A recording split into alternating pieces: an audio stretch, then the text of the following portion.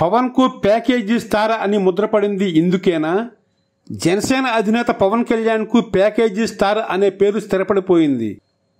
మామూలు జనాలు పవన్ గురించి మాట్లాడుకునేటప్పుడు ప్యాకేజ్ స్టార్ అనే మాట్లాడుకుంటున్నారు.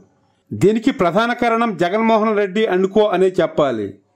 చంద్రబాబు దగ్గర పవన్ ప్యాకేజీ తీసుకునే రాజకీయాలు చేస్తున్నారనే విషయాన్ని వైసీపీ నేతలు జనాల్లో బలంగా మొదలేశారు.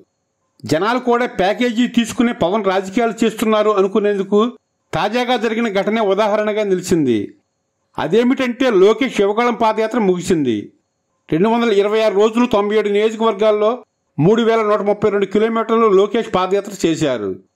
దానికి ముగింపు సభను పోలేపల్లిలో భారీ బహిరంగ సభతో ముగించాలని అనుకున్నారు. దానికి చంద్రబాబుతో పాటు పవన్ కూడా ముఖ్య అతిథులుగా పిలిచారు. మొదట్లో బహిరంగ సభకు వస్తారని పవన్ మాటిచ్చారు. తర్వాత ఏవో కారణాలు చెప్పి రావడం లేదన్నారు. బహిరంగ సభకు పవన్ రావడం లేదని స్వయంగా టీడీపీ రాష్ట్ర అధ్యక్షుడు అచ్చెన్నాయుడు చెప్పారు. తర్వాత ఏమైందో ఏమో పవన్ ఇంటికి చంద్రబాబు వెళ్ళారు. ఇద్దరి మధ్య దాదాపు రెండు గంటలు చర్చలు జరిగాయి. చర్చల్లో ఏం మాట్లాడుకున్నారో ఏమో తెలియదు గాని బహిరంగ సభకు పవన్ హాజరయ్యారు.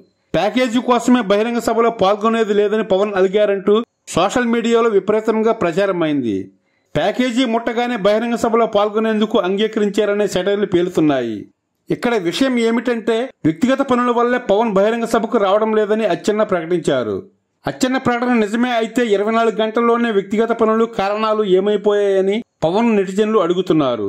ముందు హాజరు కావడం లేదని చెప్పడం తర్వాత పవన్ ఇంటికి స్వయంగా చంద్రబాబు వెళ్ళడం ఆ మర్నాడే బహిరంగ సభలో పవన్ పాల్గొనడాన్ని నెటిజన్లు ఎత్తుచూపుతున్నారు. ప్యాకేజీ ఇస్తున్నారా తీసుకుంటున్నారా అనేది చంద్రబాబు పవన్కు మాత్రమే తెలియాలి.